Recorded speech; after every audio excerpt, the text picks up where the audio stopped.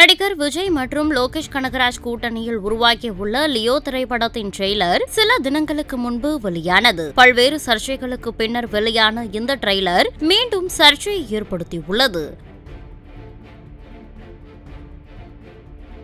அதாவது லியோ படத்தின் ட்ரெய்லரில் விஜய் மிகவும் மோசமான ஆபாச வார்த்தைகளை பயன்படுத்தி பேசியிருக்கும் காட்சிகள் இடம்பெற்று அதிர்ச்சியை ஏற்படுத்தியது. இதனைத் தொடர்ந்து ஆபாச வசனத்தை நீக்க கோரி இந்து மக்கள் கட்சி உள்ளிட்ட பல்வேறு அமைப்புகள் எதிர்ப்பு தெரிவித்து வருகின்றனர்.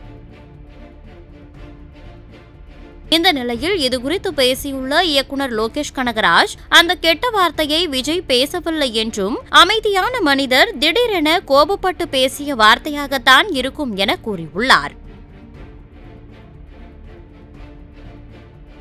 தொடர்ந்து கெட்ட வார்த்தையை பேசியது விஜய் கிடையாது என விளக்கமளித்துள்ள லோகேஷ் இதற்கு தான் பொறுப்பேற்கிறேன் என்று கூறிய பிறகுதான் விஜய் அதனை ஏற்று நடித்தார் என தெரிவித்துள்ளார். மேலும் இந்த வார்த்தை விஜய் ரசிகர்களையோ குடும்ப ரசிகர்களையோ காயப்படுத்தி இருந்தால் முழுக்க முழுக்க தான் பொறுப்பேற்பதாக அந்த பேட்டியில் லோகேஷ் கனகராஜ் தெரிவித்துள்ளார். செய்திகளை உள்ளது உள்ளபடி தெரிந்து கொள்ள ரெஃப்ளெக்ட் நியூஸை சப்ஸ்கிரைப் பண்ணுங்க.